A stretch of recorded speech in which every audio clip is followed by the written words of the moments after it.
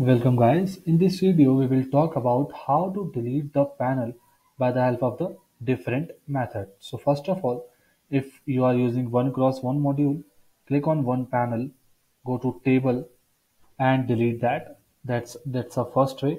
And second, click on one module and click and hold the shift button and move the other panels like this as well. I not have not released the shift button. I have holded it. Now I can select multiple modules at once. After that, I can delete it from here. Second method is you can click and hold on the left top corner and create a box so that the panels you want to delete should become in this box like this one I want to select this.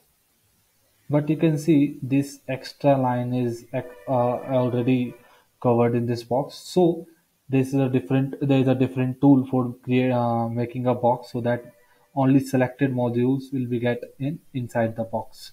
So we will go to the lasso tool.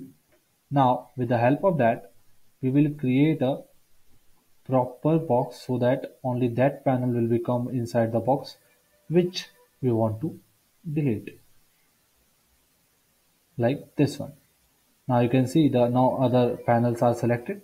Now you can press the you can press the delete button so that it will be get deleted. These are the all the method by which you can delete the modules. Thank you for watching this video